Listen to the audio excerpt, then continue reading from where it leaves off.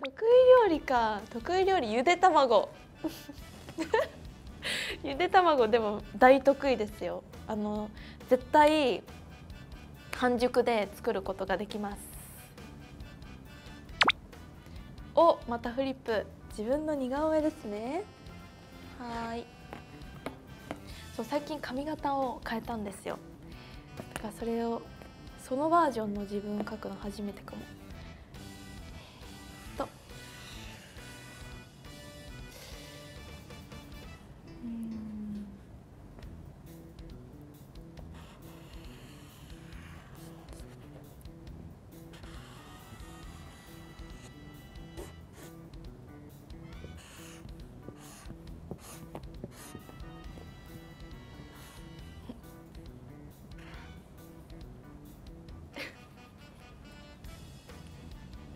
なんか なんか納得いってないんですけどはい。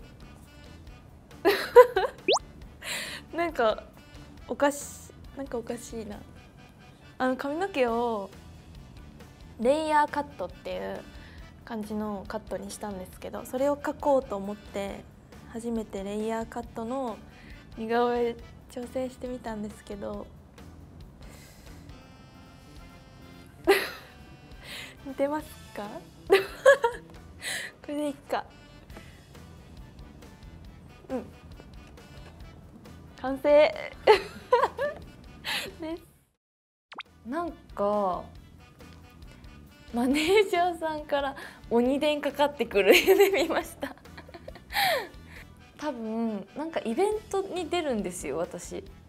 でもなんか家にいてでマネージャーさんから 鬼電かかってきててなんか電話してたら起きましたね。はい。なんだろうな。でもファンの人と話す時間欲しいかもしれない。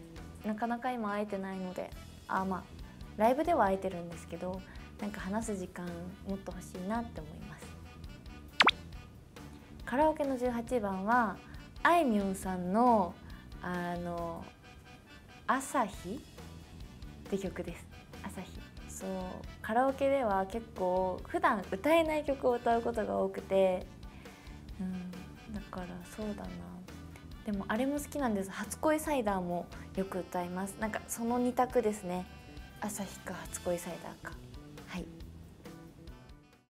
じゃことですかね。あはい。いいですか？小島さん。いきます。じゃあ小島愛子のパリピキャッチフレーズまで。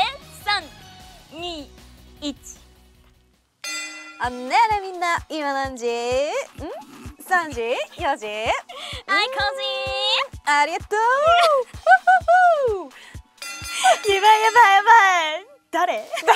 誰？誰だね。いつもの知ってたら。もう誰？誰だわ。えでもよかったですよ。え？なりきれてました。やった。えな愛子な何時 そうちょっとなんかこう流れるように言うっていうのあーなるほどね。